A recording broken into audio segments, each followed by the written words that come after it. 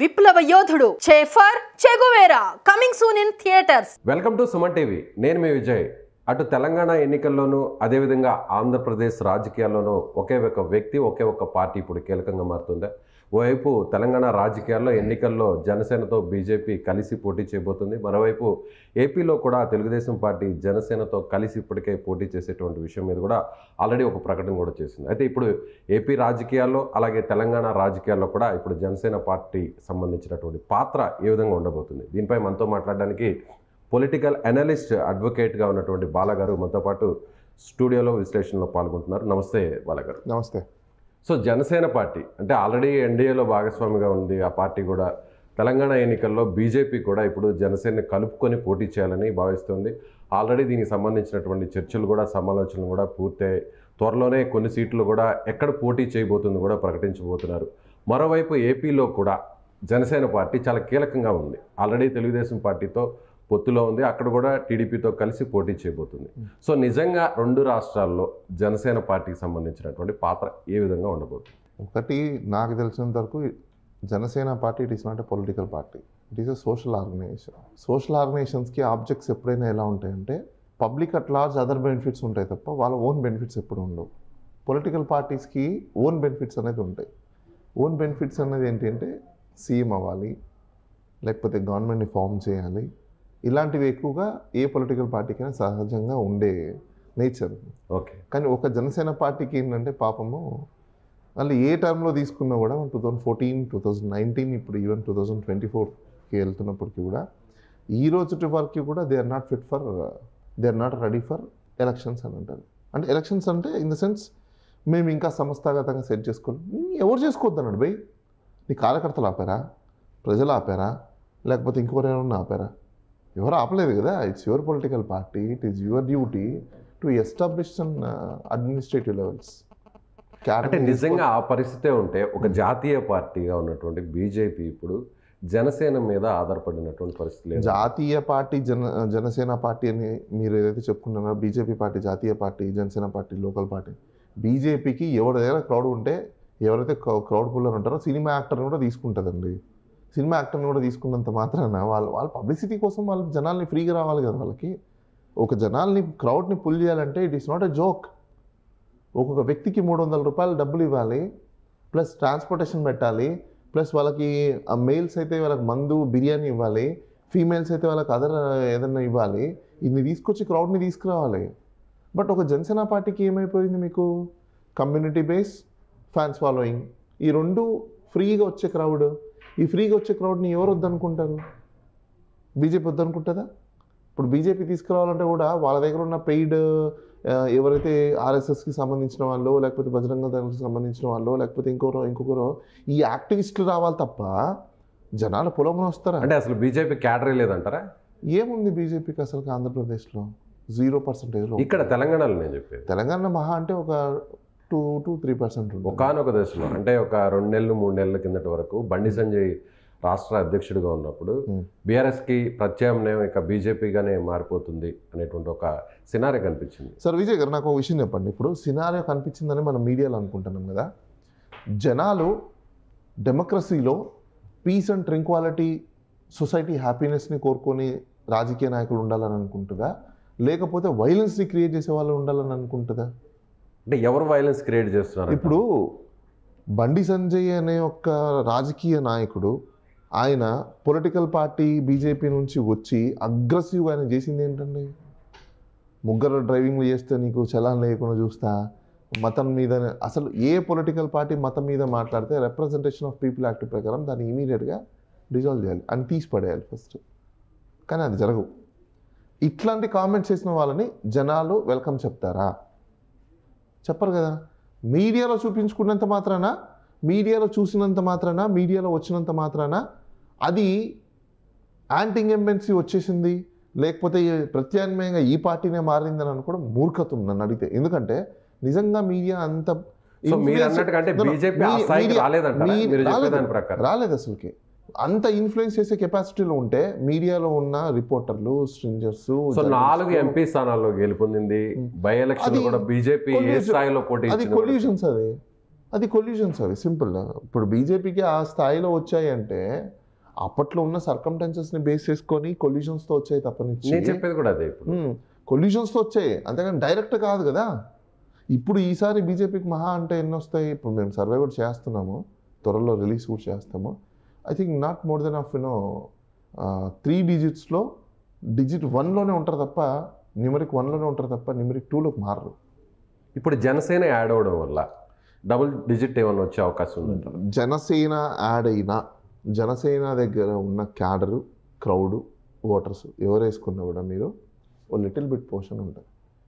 So ఎంత percentage ఉండొచ్చు? Four percent అంటే ఆల్రెడీ మీరు కూడా కొన్ని సర్వేలు కూడా చేస్తున్నారు. ఫోర్ ఆర్ ఫైవ్ పర్సెంట్ అనుకోండి. ఈ ఫోర్ ఫైవ్ పర్సెంట్ ఏంటంటే మెయిన్ కమ్యూనిటీ దాని తర్వాత fans following community fans following వేస్తే సరిపోదు కదా. ఫోర్ సొసైటీలో ఫోర్ టు ఫైవ్ పర్సెంట్ అంటే అంత చిన్నదేం కాదు కదా బాలగారు. డిసైడ్ చేసేటువంటి మెయిన్ పర్సెంటేజ్ ఒకరి గెలుపుకి ఒకరి ఓటమికి కారకులు అవుతారు తప్ప వీళ్ళు ఎప్పుడు గెలవలేరు వీళ్ళు ఎప్పుడు ఓడలేరు.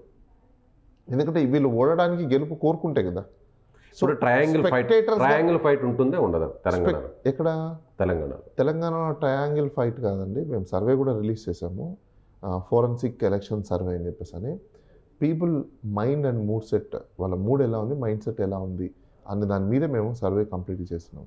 ఇక్కడ ప్రస్తుతం నడిచే ఫైటింగ్ అంతా ఏంటంటే ఇప్పుడు కాంగ్రెస్ బీఆర్ఎస్ పార్టీ ఇవి రెండే. దీంట్లో మధ్యలో బీజేపీని దూరుస్తున్నారు జనసేనని దూరుస్తున్నారు ఇంకా చిన్న చిరుక పార్టీలన్నీ కూడా దూరుతున్నాయి. అయితే ఈ చిన్న చిరుక పార్టీలన్నీ దూరినా బీజేపీ ఉన్న ఎంఐఎం ఇలాంటివన్నీ తీసుకున్నా ఎవరి ఓట్లు చీలుస్తాయి?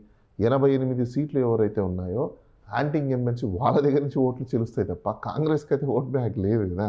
తక్కువైంది సో. ఇప్పుడు జనసేన వీళ్ళకి అవుతుంది. మీరు చెప్పిన దాని ప్రకారం ఇప్పుడు జనసేన బీజేపీ ఈ రెండు కలిసి పోటీ చేస్తాయి ఆల్రెడీ దాని. మీద కూడా క్లారిటీ వచ్చేసింది అయితే Hmm. ఎన్ని స్థానాల్లో చేయబోతుంది ఏ స్థానాల్లో పోటీ చేయబోతుంది ఎక్కడెక్కడ ఇవ్వబోతున్నారు సీట్స్ అనేది కూడా త్వరలోనే కూడా రిలీజ్ చేద్దాం Hmm. అయితే ఇప్పుడు ఉమ్, ఇప్పుడున్నటువంటి సిచ్యువేషన్ ప్రకారం ఒకవేళ జనసేన బీజేపీ కలుస్తాయి కాబట్టి కలిసాయి కాబట్టి పోటీ చేస్తున్నాయి కాబట్టి. ఎవరికి దీనివల్ల నష్టం ఎవరికి దీనివల్ల ప్రయోజనం బీఆర్ఎస్కి నష్టం ఎట్లా అంటారు ఎందుకంటే ఓటింగ్ బ్యాంక్ ఏదైనా బయటికి వెళ్తుంది అంటే అది బీఆర్ఎస్ది బయటికి వెళ్తుంది. ఇప్పుడు ప్రభుత్వ వ్యతిరేక ఓటే కదా. దట్స్ వాట్ నేను అదే అంటున్నా. ఇప్పుడు ఎందుకు బీఆర్ఎస్కి నష్టం? ఓటింగ్ పరంగా. కానీ జనసేన పార్టీ బీజేపీ పార్టీ కలిసి పోటీ చేస్తే లాభం కూడా బీఆర్ఎస్కే. అంటే కాంగ్రెస్కి వచ్చే ఓట్లు చీలుస్తారా లేదంటే. ఆల్రెడీ అధికార పార్టీకి ఆల్రెడీ డెవలప్మెంట్ కావచ్చు లేదంటే సంక్షేమ పథకాలు లబ్ధిదారులు ఎవరైతే బీఆర్ఎస్ ఓటేయాలనుకున్నారో ఖచ్చితంగా ఓటేస్తారు అలాగే బీఆర్ఎస్కి ఓటేయకూడదని ప్రభుత్వ వ్యతిరేక ఓటు ఉందో ఈ ఓటు ఎక్కడికి పోద్ది పోతే కాంగ్రెస్కి పోతుంది. లేదంటే బీజేపీకి పోతుంది ఒకవేళ సింగిల్గా పోటీ చేస్తే జనసేనకు పోతుంది. లేదు ఇప్పుడు జనసేన బీజేపీ రెండు కలిసి పోటీ. చేస్తున్నాయి కాబట్టి నేను అదే చెప్తున్నాను మీకు ఓటింగ్ పరంగా నష్టపోయేది బీఆర్ఎస్ పార్టీ బట్ పొలిటికల్ పరంగా బెనిఫిట్ పొందేది బీఆర్ఎస్ పార్టీ రెండు డిస్టింగ్విష్ డిఫరెన్స్ ఉన్నాయి. ఎలా అంటారు ఆ ఈక్వేషన్ ఓటింగ్ బయటికి వెళ్ళిపోయినా చాలా సింపుల్గా మీకు చెప్తాను కామన్ మ్యాన్కి అర్థమయ్యే విధంగా. బిక్సీ అనే ఒక మొబైల్ సెంటర్ ఉంది. గుర్తుందా మీకు? అవును. బిక్సీ కాకుండా వేరే ఆల్టర్నేట్ మొబైల్ పాయింట్స్ కూడా వచ్చాయి. లాట్ అని లేకపోతే హ్యాపీ అని రకరకాలుగా వచ్చాయి. జనాలకి అందరికీ ఏం తెలుసు? ఆల్రెడీ వాళ్ళకి సంబంధించినటువంటి? ఇప్పుడు ఇక్కడ ఏం చేస్తారు? రూపాయి డిస్కౌంట్ అని ఇక్కడ అంటారు. ఇక్కడ వెళ్ళాల్సిన కస్టమర్ ఏం చేస్తారంటే పది రూపాయలు లాస్ అవ్వకుండా పోతే పోయింది టూ రూపీస్ అని చెప్పేసి అని ఇంకొక స్టోర్కి పంపిస్తే అక్కడ టూ రూపీస్ డిస్కౌంట్ ఇస్తే ఎనిమిది రూపాయలు వచ్చాయి కదా. ఎవరి జాబ్లోకి వచ్చాయి? End of the day main ఎవరైతే ఉన్నారో వాళ్ళ జాబ్లోకి వచ్చాయి. ద సేమ్ టైం ఇదే అనాలజీ పాలిటిక్స్లో కూడా మీరు ఏం చేస్తారంటే ఏదైతే యాంటీ ఇంకంబెన్సీ ఓట్స్ ఉన్నాయో ఈ బయటికి వెళ్ళిపోయే యాంటీ ఇంకంబెన్సీ ఓట్స్ వేరే వాళ్ళకి పంపించకుండా వీళ్ళే ఇంకొక దుకాణాలు లేకపోతే వీళ్ళకు సిస్టర్ కన్సర్న్స్ ఉన్న వాళ్ళ దగ్గరికి పంపించినప్పుడు ఓటర్ పరంగా వీళ్ళు లాస్ అవుతారు కానీ సీట్ల పరంగా వాళ్ళకి బెనిఫిట్ వచ్చినప్పుడు అలియన్స్ వాళ్ళతోనే ఉంటుంది సో గవర్నమెంట్ ఫామ్ చేయడానికి వీళ్ళు ఉపయోగపడతారు.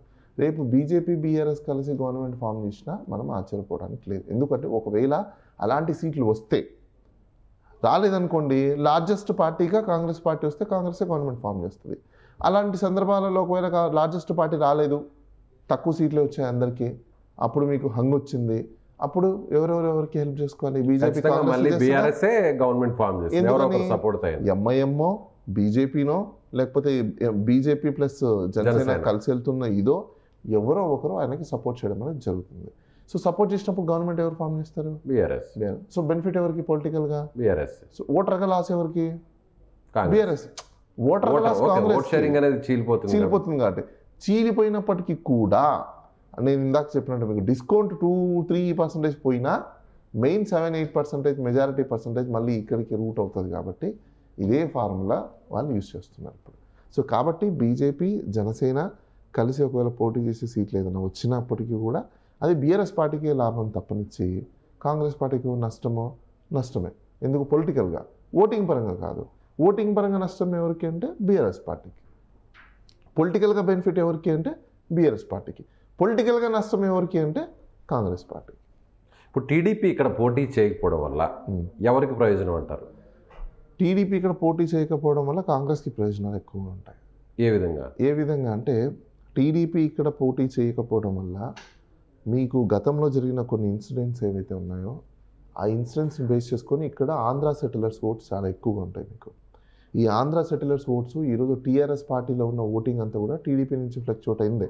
అదేం పక్క నుంచి రాలేదు. టీడీపీలో నుంచే బయటకు వచ్చి వెళ్ళినది కాబట్టి క్యాడరు లీడర్షిప్ కూడా ఎక్కువ చాలా వరకు టీడీపీకి సంబంధించిన వాళ్ళు ఉంటారు కాబట్టి వీళ్ళు పోటీ చేయనప్పుడు వాళ్ళ లెవెల్ ఆఫ్ క్యాడర్ ఏదైతే ఉంటుందో వాళ్ళు వాళ్ళకి ఇన్ఫ్లుయెన్స్ చేసుకున్నప్పుడు వీళ్ళు ఇండైరెక్ట్లీ అలయన్స్ ఎవరితో ఇండైరెక్ట్లీ కొల్యూషన్స్ ఎవరితో కాంగ్రెస్ పార్టీ. సో వాళ్ళకి ఓట్ వేయడానికే ప్రపోజ్ చేస్తారు తప్ప కానీ ఒక కామన్.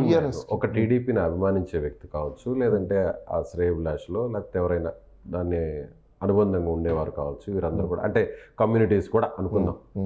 ఇప్పుడు టీడీపీ సింబల్ లేనప్పుడు కాంగ్రెస్కి బద్ధ శత్రువు టీడీపీ. అంటే కాంగ్రెస్కి వ్యతిరేకంగా ఏర్పాటైందే ఆ పునాదుల మీద నిలబడిందే తెలుగుదేశం పార్టీ. ఇప్పుడు తెలుగుదేశం పార్టీతో ఏపీలో పొత్తు పెట్టుకోండేది జనసేన పార్టీ. సో జనసేనకి ఇచ్చు కదా. జనసేన వేయడానికి ఇక్కడ స్కోప్స్ లేవు. ఎందుకంటే కామన్ మ్యాన్గా ఒక టీడీపీని అభిమానించే కామన్ మ్యాన్ ఎందుకంటే రీజన్ అది కూడా నేను చెప్తాను.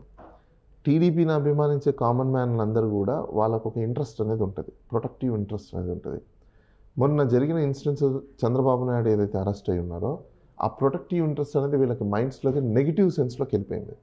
నెగిటివ్ సెన్స్లోకి వెళ్ళిపోయినప్పుడు మీకు బీజేపీకో లేకపోతే జనసేన పార్టీకో ఓటు ఎందుకు వేస్తారు? ఇక్కడ ప్రొటెక్ట్ జనసేన ఖచ్చితంగా వేస్తారు. వేయరు.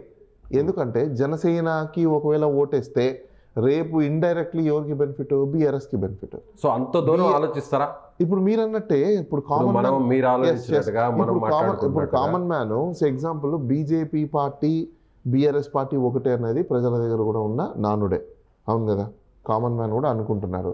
మరి కామన్ మ్యాన్కి వీళ్ళిద్దరు ఒకటని అనుకున్నప్పుడు పోయి జనసేన పార్టీ దూరితే వాళ్ళతో పాటు ఇది కూడా గ్రూప్ అవుతుందా? లేకపోతే సపరేట్ అవుతుందా? అదే ఒకవేళ టీడీపీ పోటీ చేస్తే? ఒకవేళ టీడీపీ పోటీ చేస్తే టీడీపీ ఓట్లు చెల్చే ఎవరైనా చెల్లుస్తుందంటే కాంగ్రెస్ చెల్లుస్తుంది కాంగ్రెస్కే నష్టం. కాంగ్రెస్కి నష్టం. సో కాబట్టి వాళ్ళు డ్రాప్ అవడానికి రీజన్ కూడా మేబీ అయిండొచ్చు కాంగ్రెస్కి రేపు దెబ్బ పడకుండా ఉండాలి అంటే రేవంత్ రెడ్డి ఎక్కడ ఉన్నాడు కాబట్టి టీడీపీ పార్టీ కంప్లీట్గా కంటెస్ట్ చేయకపోతే ఆ ఓట్స్ ఏవైతే ఉంటాయో ఒకవైపు మొన్న చంద్రబాబు నాయుడు అరెస్ట్ అవడం వల్ల జరిగిన నెగిటివ్ సెన్స్ ఇక్కడ తెలంగాణ గవర్నమెంట్లో గవర్నమెంట్ బిహేవ్ చేసిన వాళ్ళ సైడ్ పోలీస్ నుంచి పెట్టి వాళ్ళని అడ్డుకొని ఇట్లాంటివన్నీ కూడా నెగిటివ్ సెన్స్ ఉంది కాబట్టి కొంచెం కాంగ్రెస్కి బెనిఫిట్ సో రకరకాల ఈక్వేషన్స్ అయితే మాత్రం తెలంగాణ పొలిటికల్స్లో పొలిటికల్ సినారీలో ఎలక్షన్స్లో అయితే మాత్రం ఉన్నాయనుకోవచ్చు. Hmm. అంటే ఏ పార్టీకి ఎన్ని ఓట్లు వస్తాయి ఏ పార్టీ ఎవరు ఓట్లను చీలుస్తుంది ఏ పార్టీ పొత్తులో ఉండడం వల్ల ఎవరికి ఉపయోగం లేదు అనేది మాత్రం త్వరలోనే మనకి జరిగే ఎన్నికల్లో రిజల్ట్లో తెలుస్తుంది మనకు. రైట్ అండి. Thank you thank you so much బాలాగారు. ఇది తెలంగాణ ఎన్నికల్లో ఇప్పటికే జనసేన పార్టీ బీజేపీ రెండు కూడా కలిసి పోటీ చేసే అవకాశం స్పష్టంగా కనిపిస్తున్నటువంటి నేపథ్యంలో. సో జనసేన పార్టీకి వచ్చేటువంటి ఓట్లు అలాగే బీజేపీకి వచ్చేటువంటి ఓట్లు ఎవరికి ప్రయోజనం కలుగుతాయి అలాగే ఎవరికి నష్టాన్ని కలిగిస్తాయనే దానిపై బాలాగారి విశ్లేషణ ఇది. Thank you thank you so much